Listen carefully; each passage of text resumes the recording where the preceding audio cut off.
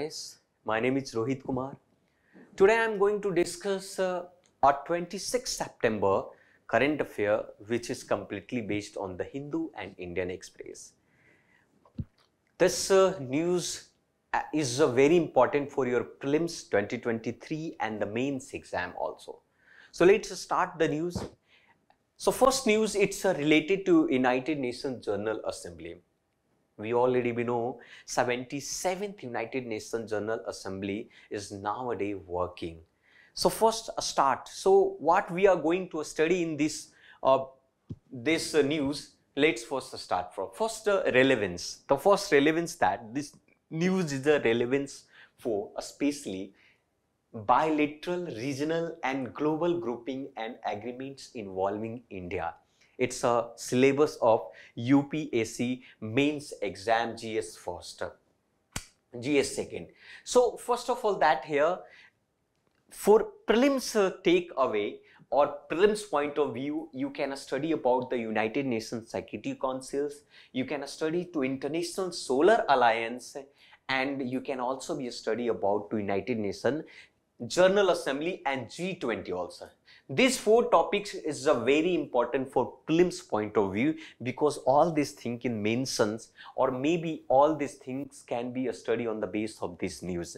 So let's start the what is saying the news. News simply said that, said that simply uh, addressing the 77th United Nations General Assembly which is represented by our external affair minister Jaishankar. So Jaishankar, just uh, external affair minister explain everything about that India's positions in the Russia-Ukraine conflict. Always we name different different countries always asking about ki, where is India stand? India stand the side of Russia or India stand the side of the Ukraine? India explain everything about that ki we India said that India was on the side that respect the UN Charter India was side that respected the UN Charter and on the side of the peace. India always will follow the tranquility, the peace always. You can see the last or maybe past or history of India also. So India's follow the side of the peace. India always supported the side of the peace always. So India never want that Russia and Ukraine war will extend. Okay, now also made a strong pitch for the UN Security Council should be a reform also because UN Security Councils, UN United Nations Security Councils have a five permanent member. Why should only five permanent permanent member? India is also a biggest or fifth biggest economic in the world. India also be supported to different different a neighbor country and all the world also. So why not India should be a permanent member of United Nations uh, Security Council? So here simply India also pinches here India Security Council's reform should be. We will already we discussed about the G20 also.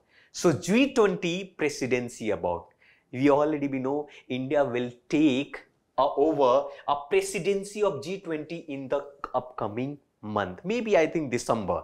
December in g20 will held in india especially venue is uh, jammu and kashmir.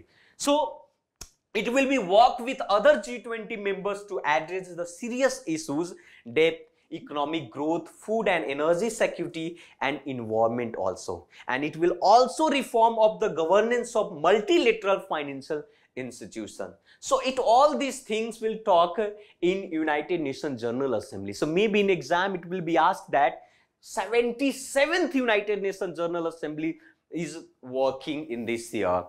So now one thing is also you can say India also be just uh, India assist assistance of neighbors and effort effort to change. India, you know, it's a Vishwaguru. India called as a Guru, and he always supported to neighbor country like Sri Lanka, Bangladesh, Afghanistan and Pakistan also sometime. Maldives always stand with the neighbor country. So financial, you can say a financial commodity assistance given to Sri Lanka. Okay, and food assistance to Myanmar, uh, wheat to Afghanistan. So India always, always assistant to neighbor and effort to climate also. But where the sarcasms in United Nations General Assemblies about the Pakistan here, slamming Pak, simply say that ki India also said that a country that claimed to seek a peace with its neighbor. India said country that claims to seek a peace with neighbor. Neighbors would never sponsor to cross-border terrorism, nor would TB shelter a planner of the hor horrific Mumbai terrorist attack. It means simply India exercised the right of reply to United Nations General uh, uh, Assembly about the Pakistan. So this is all about that United Nations General Assembly this news has given here and it is very important for your exam point of view. So move on another, another it's very important also. Odisha, Odisha offering a cash incentive to PVTG for marrying after 18. The Hindu news it's a, you should know about that what is a PBTG. And this question already be asked in your exam, prelims paper. I think in 2019 or 2019 or 19, I think it already be asked in the paper. So first question, what is a PBTG? TG. So PBT is so called particularly vulnerable tribal groups. There is a 75 all of India. In India, there is a 75 PBTG group. It's a but who is a? So now the questions, it will be asked OPELIP in the prelims exam. Odisha PBTG Empowerment and Livelihood Improvement Program. So this will be asked in the paper. 27, 75 PBTs in the India's total. And the most of the PBTs, are especially maximum PBTs live in Odisha. I think 13 PBTs. Okay. First of all, that you should know about that. Who is PVTG group? So keeping here, according to base of the news, keeping the rampant child marriage among the particular vulnerable tribal group of Odisha. In the mind, and a state government is provide an incentive of 20,000 for the late marriage. It means uh, child marriage is profounded in PBT's group in the maximum in Odisha.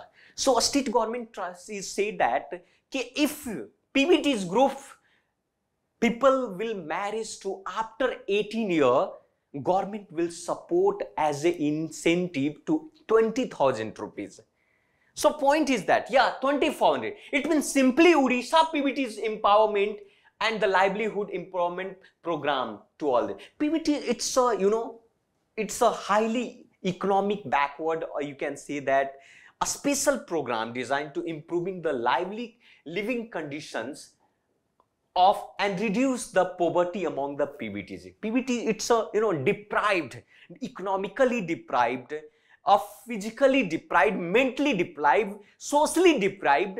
It means such type of the group just uh, sustain in our country. It's called to the PBTG group, right? So a special program designed to improve the living conditions and reduce the poverty among the PBTG.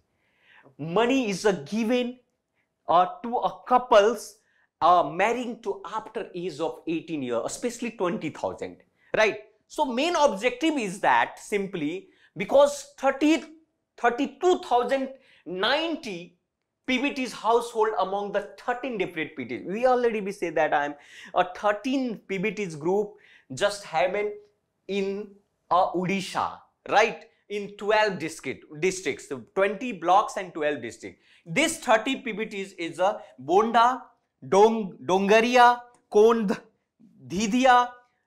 It, it's a difficult pronunciation. So, Langia, Sora, Kutia, Kond.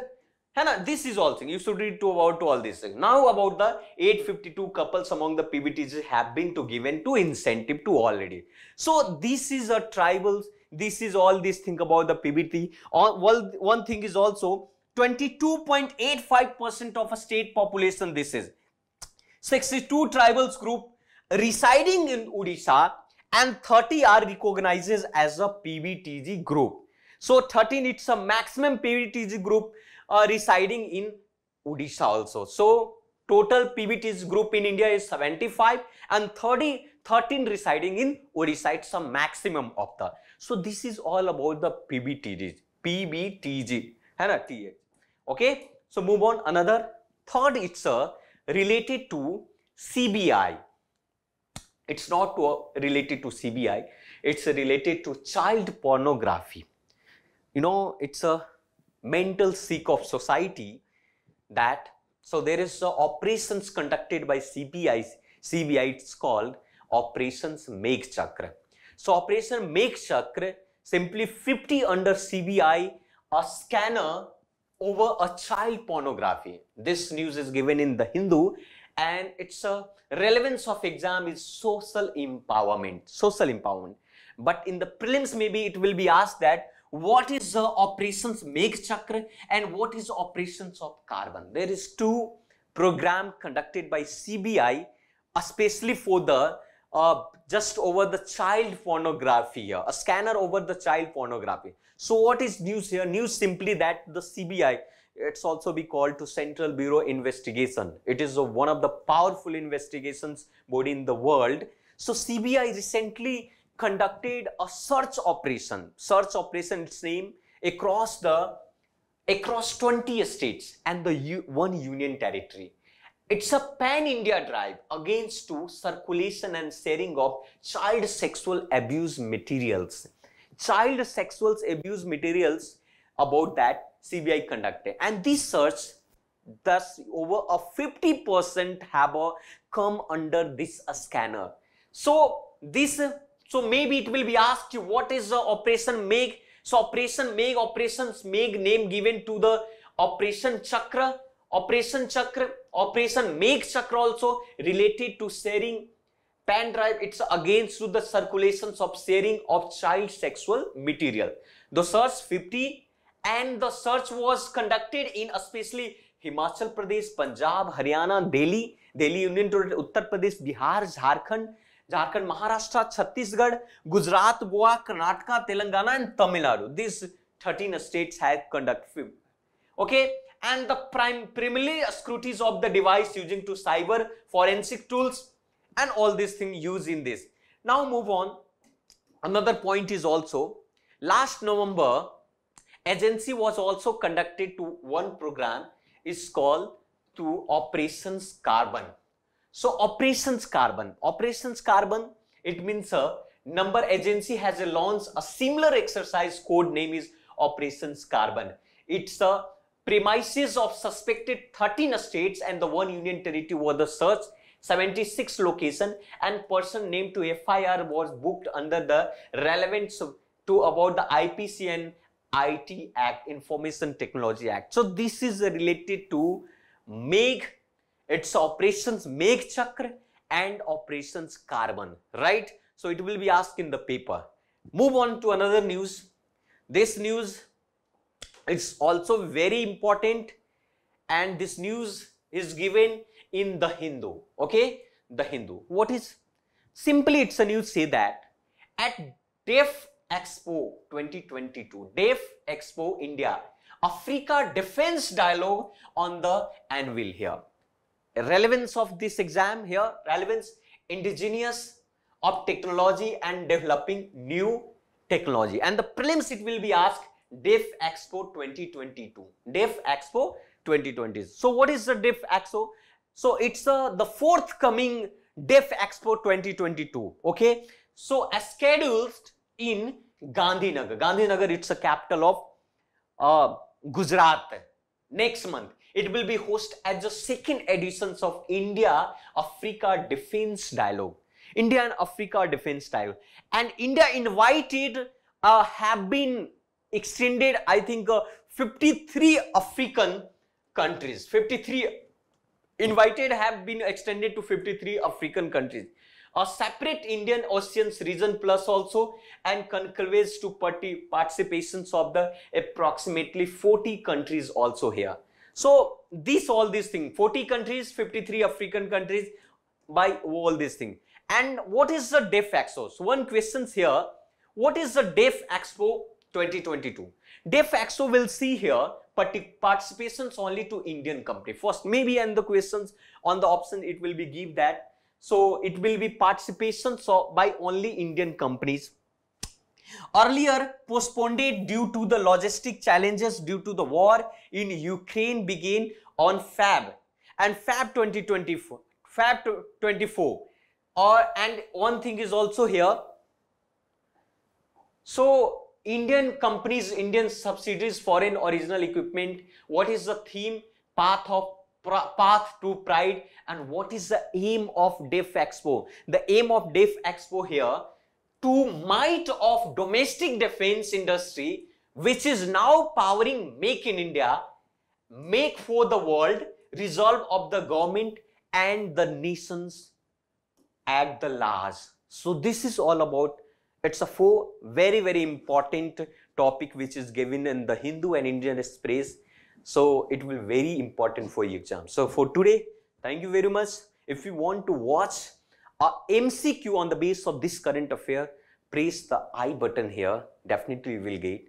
Thank you very much for today.